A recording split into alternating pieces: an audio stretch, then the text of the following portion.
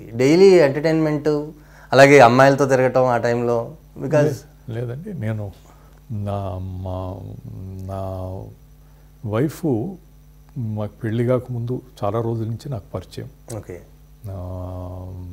So తర్వాత entertainment అంటే only cinemas.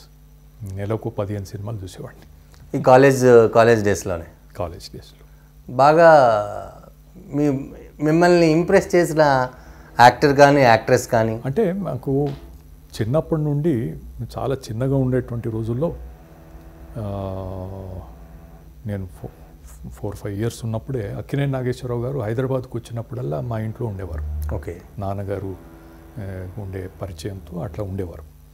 So ఆ రకంగా ఆయన తరచు ఆయన హైదరాబాద్ షిఫ్ట్ కాకముందు కూడా ఎప్పుడు హైదరాబాద్ వచ్చినా ఇక్కడికి వచ్చేవారు. సో ఆ రకంగా ఆ ఫెమిలియారిటీ ఒక లైకింగ్ ఆయన అంటే తెలుగులో ఆ విధంగా ఉండేది. నాగేశ్వరరావు.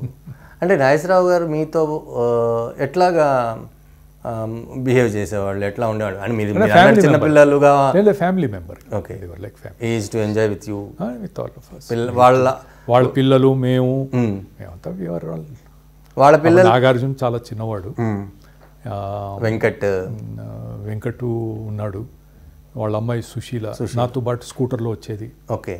మా దగ్గర ఉండిపోయేది. అంతా ఆ రకంగా సో ఆ ఫ్యామిలీతో బాగా రిలేషన్స్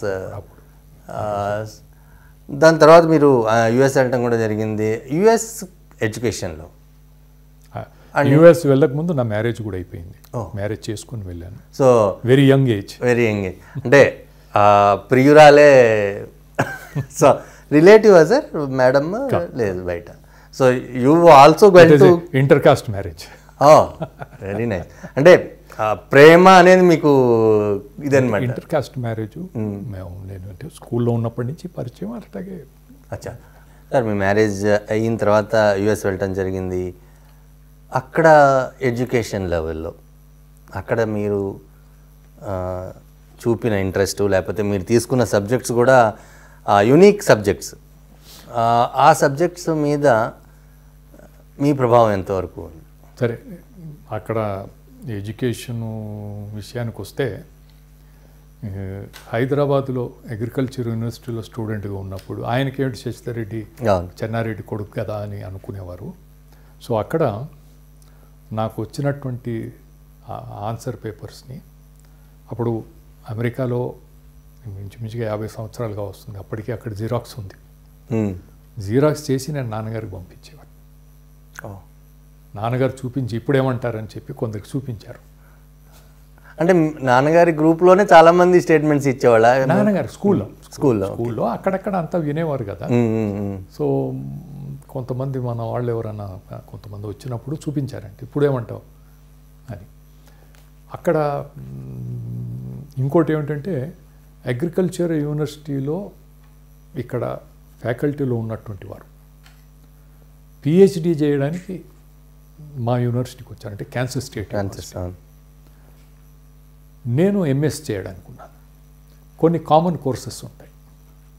నాకు ఇక్కడ నేను చేసింది అగ్రానమీ అగ్రానమీలో నాకు ఇక్కడ లెక్చరర్గా రీడర్గా పనిచేసినటువంటి ఆయన నా క్లాస్మేట్ అక్కడ. క్లాస్మేట్గా ఉండి శశిధర్ రెడ్డి కొంచెం ఇక్కడ కూర్చో ఏదన్నా ఉంటే డౌట్ ఉంటే చూసుకోవచ్చు కదా అని నన్ను కూర్చోబెట్టుకునేవాడు. సో ఆయనకు కూడా మీరు అంటే అదే. చెప్తున్నాను నేను. ఆ రకంగా అంటే ఇక్కడ టీచర్గా నాకు చదువు చెప్పినటువంటి గురువు. గురువు.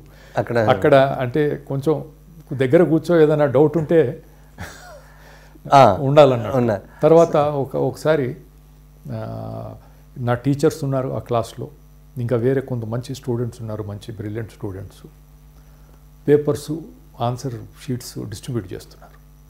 డిస్ట్రిబ్యూట్ చేస్తూ దాంట్లో ప్రత్యేకంగా నాతో కొంత బాగా ఒక స్టూడెంట్ ఉండేవాడు ఇక్కడ వాడే.